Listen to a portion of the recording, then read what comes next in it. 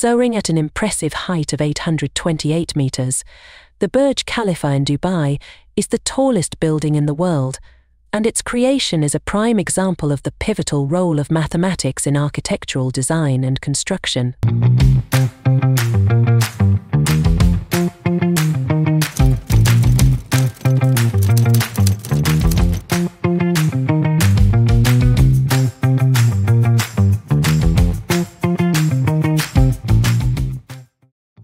The design of the Burj Khalifa employs mathematical scaling techniques to ensure the stability and elegance of its tapering structure.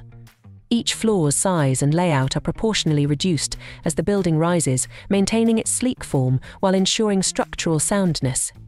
Advanced mathematical models were used to calculate the load capacity of the building's core and foundation.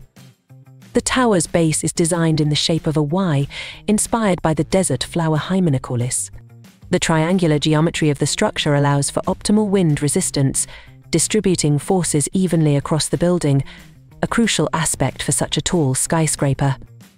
The Burj Khalifa's height makes it susceptible to wind forces and seismic activity.